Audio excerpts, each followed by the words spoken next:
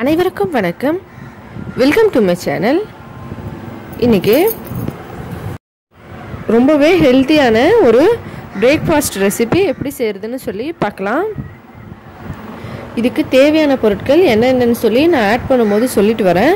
அதோட டிஸ்கிரிப்ஷன்லேயும் கொடுத்துட்றேங்க. அங்கேருந்து செக் பண்ணிக்கோங்க. இதை செய்கிறதுக்கு நமக்கு அதிகமாக டைம் எடுக்காது. ஒரு டூ மினிட்ஸ்லேயே நம்ம செஞ்சு முடிச்சிடலாம். இப்போ வாங்க இது எப்படி செய்கிறதுன்னு சொல்லி பார்க்கலாம்.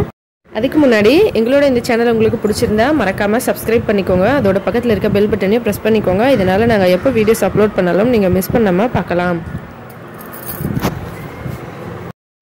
முதல்ல இங்கே பார்த்தீங்கன்னா ஒரு கப் அளவுக்கு ஓட்ஸ் எடுத்து வச்சுருக்கேன். ஓட்ஸ் வந்து ரொம்பவே ஹெல்த்தியானது எல்லாருக்கும் தெரிஞ்சிருக்கும். தெரியாத ஃப்ரெண்ட்ஸ் பார்த்துக்கோங்க இதுதான் ஓட்ஸு இதை ஒரு கப் அளவுக்கு நம்ம மிக்சி ஜாரில் சேர்த்துக்கலாம். எந்த கப்பில் நம்ம ஓட்ஸ் எடுத்தோமோ அதே கப்பில் பச்சை பயிறு இது வந்து நான் நைட்டே ஊற வச்சு வச்சுருந்தேன். நைட்டு ஊற வச்சுட்டு இதை காலையில் ஒரு கப் எடுத்து இதில் சேர்த்துக்கலாம். இதை வந்து நீங்கள் கடையில் கூட உங்களுக்கு இந்த முளைக்கட்டிய பயிர் கூட கிடைக்கும். அது கூட யூஸ் பண்ணிக்கலாம். இதோட ஒரு பச்சை மிளகா ஒரு சின்ன துண்டு இஞ்சி சேர்த்துக்கலாம். கொஞ்சம் தண்ணி ஊற்றி இதை நல்லா தோசை மாவு பதத்துக்கு அரைச்சிக்கலாம். பாருங்கள் இந்த மாதிரி நல்ல ஃபைன் பேஸ்ட்டாக அரைச்சி வச்சுருக்கேன். கொஞ்சமாக தண்ணி ஊற்றி தோசை மாவு பதத்துக்கு இது இருக்கணும். பாருங்கள் இதை ஒரு கிண்ணத்துக்கு மாற்றிருக்கேன் இதில் தேவையான அளவு உப்பு சேர்த்துக்கலாம். உப்பு சேர்த்துட்டு இதை நல்லா மிக்ஸ் பண்ணிடலாம். மிக்ஸ் பண்ணிவிட்டு உடனே நம்ம இதை செய்ய ஆரம்பிச்சிடலாங்க. இதுக்கு சுத்தமாக டைம் தேவையில்லை. புளிக்க வைக்கிறதுக்கெல்லாம். இதை நம்ம உடனே செய்யலாம். சூப்பராக வரும் தோசை. நல்லா கிறிஸ்பியாக இருக்கும். அதோட ரொம்பவே ஹெல்த்தியான ஒரு தோசை மார்னிங் பிரேக்ஃபாஸ்ட்டில் செஞ்சு பாருங்கள் ரொம்ப சூப்பராக இருக்கும் இதோட டேஸ்ட்டு சட்னி சாம்பார் எது கூட வேணாலும் இது செட் ஆகும். இந்த மாதிரி கன்சிஸ்டன்சியில் இருக்கணும். இப்போ அடுப்பு மேலே ஒரு தோசைக்கல்லை நல்லா சூடு பண்ணிக்கலாம்.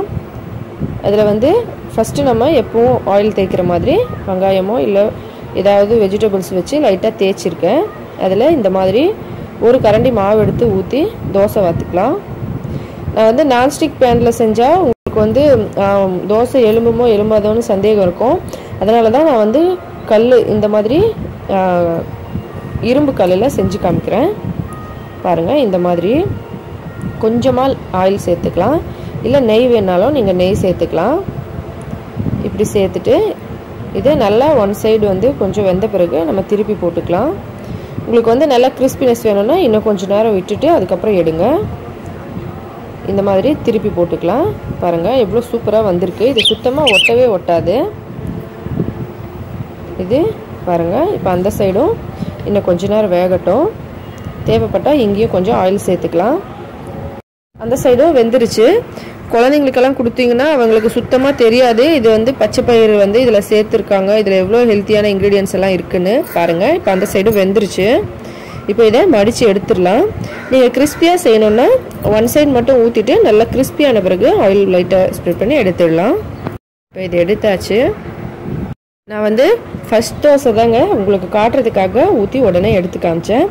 மற்ற ரெண்டு தோசையை நான் கிறிஸ்பியாக தான் செஞ்சுருக்கேன். ரொம்பவே சூப்பராக இருக்குது இந்த தோசை. டேஸ்ட்டு வந்து யாராலையும் கண்டுபிடிக்க முடியாது. இதை எப்படி செஞ்சீங்கன்னு சொல்லி. இதில் எல்லாமே நம்ம ஹெல்த்தியான இன்க்ரீடியன்ஸ் வச்சு செஞ்சுருக்கோம். எல்லோரும் நல்லா விரும்பி சாப்பிடுவாங்க. இது டேஸ்ட் ரொம்ப டிஃப்ரெண்ட்டாக இருக்கும். இதை சாம்பார் சட்னி எது கூட வேணாலும் சர்வ் பண்ணலாம். கண்டிப்பாக ட்ரை பண்ணி பாருங்கள் இந்த வீடியோ உங்களுக்கு பிடிச்சிருந்தா லைக் பண்ணுங்கள் ஷேர் பண்ணுங்கள் எங்களோட இந்த சேனல் உங்களுக்கு பிடிச்சிருந்தா மறக்காமல் சப்ஸ்கிரைப் பண்ணிக்கோங்க. மேலும் இதே போல் இன்னும் பல வீடியோஸ் பார்க்குறதுக்கு இந்த வீடியோவை பார்த்த அனைத்து நண்பர்களுக்கும் மிக்க நன்றி. வணக்கம்.